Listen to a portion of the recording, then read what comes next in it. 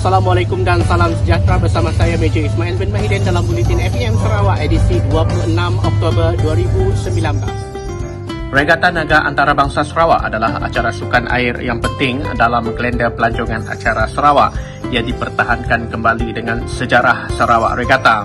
12 negara mewakili dalam regata tahun ini, 29 pasukan membentuk sejumlah 900 pendayung.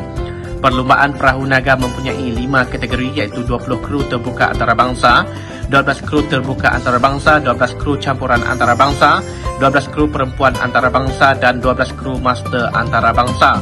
APM Sarawak telah dipertanggungjawabkan bagi memastikan keselamatan kesemua peserta dalam menyediakan perkhidmatan kecemasan di air semasa pertandingan ini berlangsung.